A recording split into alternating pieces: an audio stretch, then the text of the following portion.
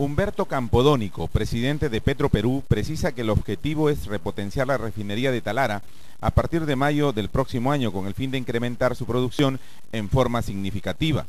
Tratar de establecer cuál es el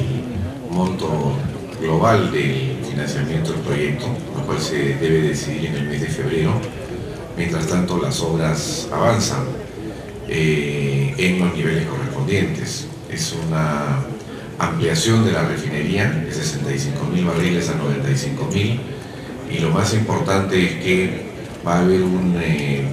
una desulfurización del diésel y de las gasolinas, lo que quiere decir que ya van a tener menos contenido de azufre, que es algo que en estos momentos las leyes internacionales y nacionales también establecen. El alto funcionario comentó que los trabajos de modernización de la refinería generarán miles de empleos para los piuranos, por lo que advirtió la necesidad de capacitar la mano de obra. El proyecto también va a aportar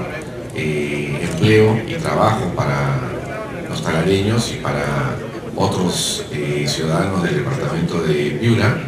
en lo que concierne a trabajos específicos como soldaduras, mecánicos, electricistas Podónico también afirmó la intención del gobierno de potenciar el oleoducto, masificar el gas, como el caso de Talara, para llevarlo al transporte y consumo domiciliario. Anunció además la construcción de nuevas plantas de venta de Petroperú en Talara y en Piura. Evidentemente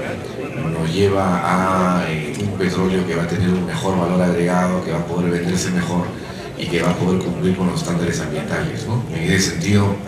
eh, es importante esta vuelta de Petroperú a, a inversiones que tienen que ver con la mejora de la calidad de los combustibles en el país y el medio ambiente, lo que vamos a acompañar con otras inversiones sobre la vuelta a la producción.